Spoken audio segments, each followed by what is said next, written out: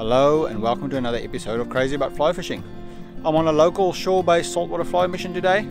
A friend alerted me to some uh, supposed action from the shore, so we'll see what happens and I'll catch up with him and hopefully we'll get something. It might be local, but it's been a matter of a mission to get here. Uh, probably about an hour and a half drive because of a lot of road works and a grader working on the gravel road. So yeah, it's been a bit of a challenge to get here. So uh, I hope it's going to be worthwhile.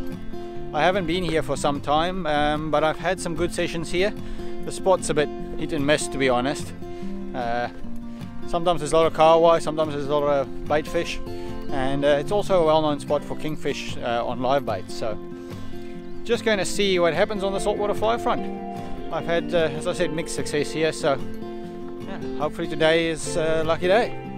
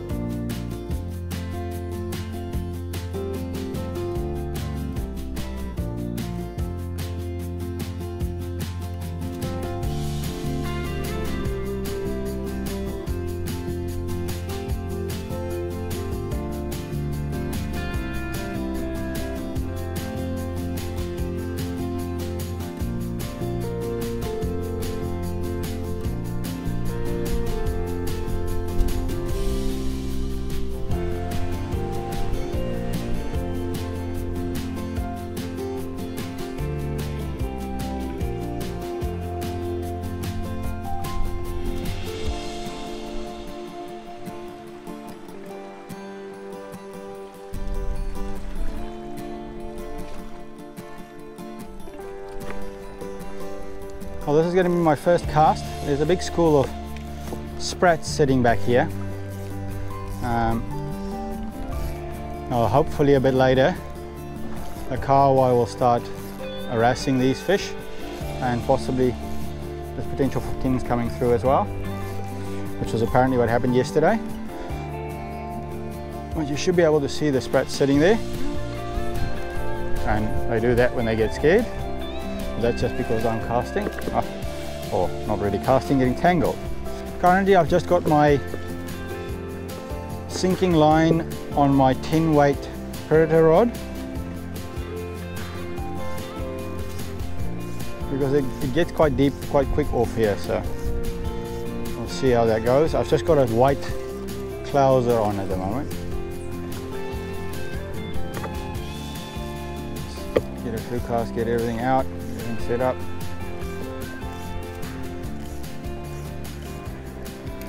And while there is some nice kelpie structure here, not really had any luck with snapper here.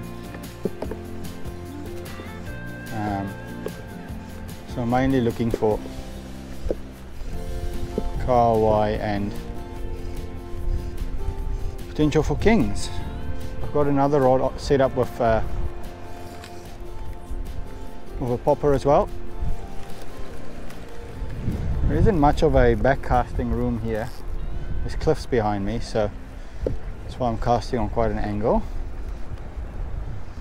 Okay, so if you can see that, as the current rips out here uh, on its way to Australia, it creates the current there and then it creates a big back eddy towards that way, which fills up with bait and uh, often the kingfish and kahawai come out here and try to get the bait so uh, I'm going to just work my way along here. I'm going to do a couple of casts in the current and see if I can pick anything up and then we'll see what happens. I'll let you know if I hook anything. We're essentially just waiting for some action to happen. The bait's starting to accumulate in this back eddy uh, which will hopefully eventually bring the kahawai and hopefully kingfish around. So watch this space so I brought the uh, gas cooker and coffee and milk and the kettle and water and no cup. So we'll figure this out.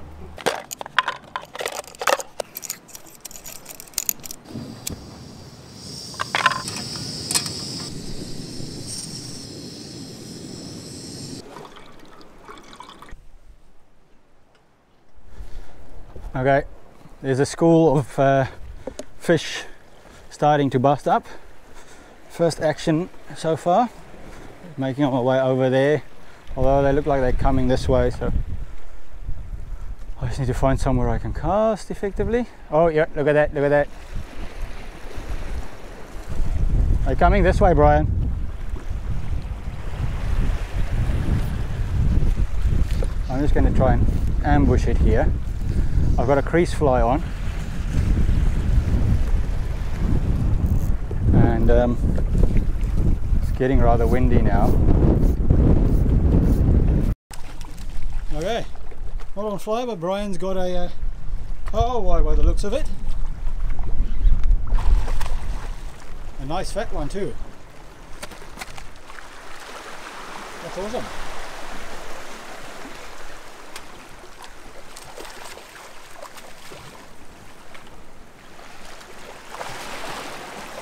Well, there we go. Bit of a there. Yeah, a bit of, um, he's a very conscious fisherman, so he's got single barbless hooks on his lures. It's really cool, and so it makes it easy to release the fish as well.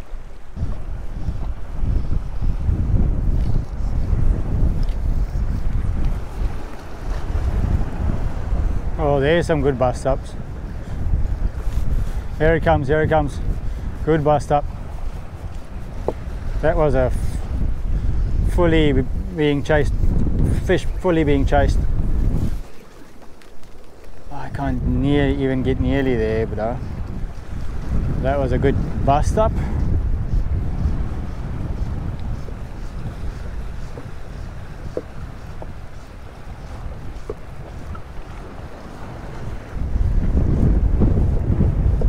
The wind's really making it difficult.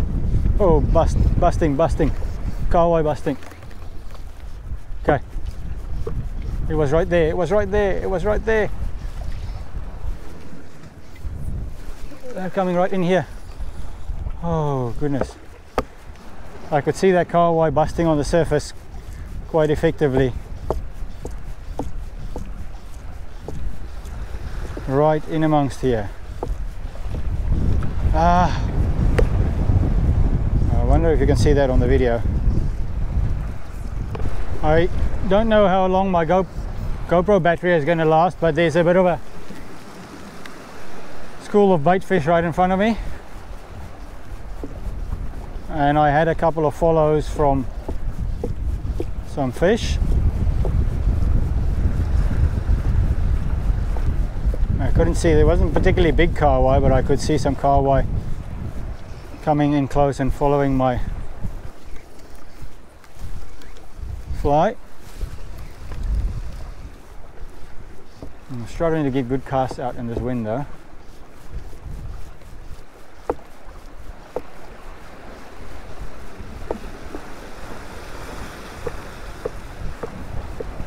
The baby kahawai also following my uh, fly vigorously.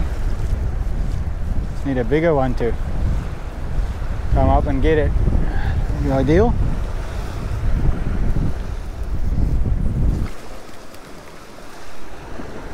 Let's quickly talk about a couple of useful things that's very handy for fishing off the rocks or the shore.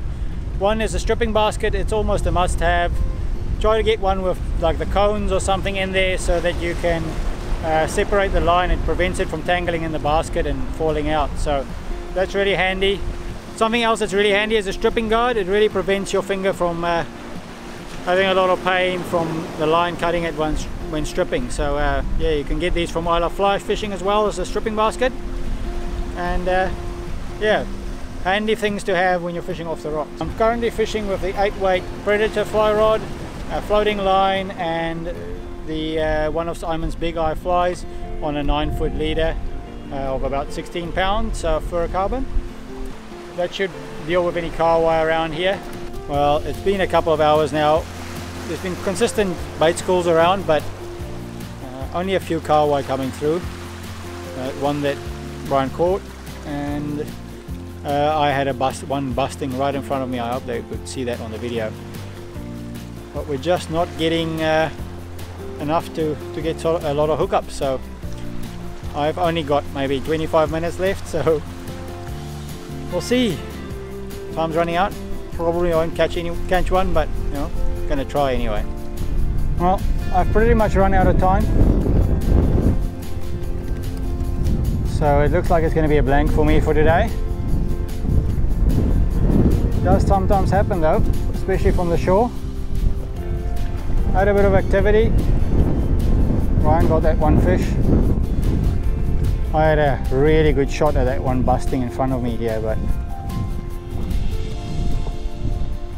it just didn't seem to want the uh, the fly. So